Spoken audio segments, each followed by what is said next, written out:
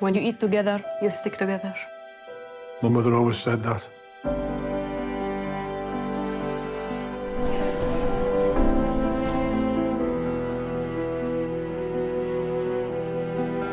First of all, I really enjoyed my day, and of course, watching the film has been the highlight. I don't even know where to begin. I just loved it. I think it really demonstrated what social cohesion looks like.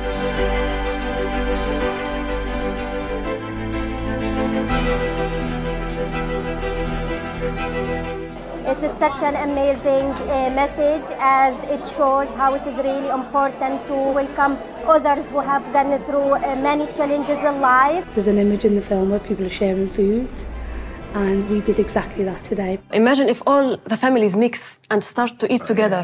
If you eat together, you stick, together. I thought it was brilliant.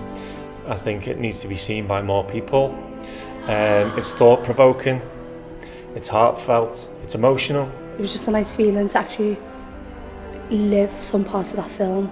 The film is very good for the larger population to view um, and see what goes on in the minds of a refugee and how they see a refugee from their point of view.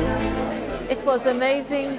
It had a, a strong, clear message how the community could work for betterment of our society. The things we do not see from across the sea, the torn down buildings, the barren lands, the heartache, the devastation, the leaving of your lands, the family you have left behind, all for a life without the fear and no raising of arms against each other, all the things we do not see from across the sea.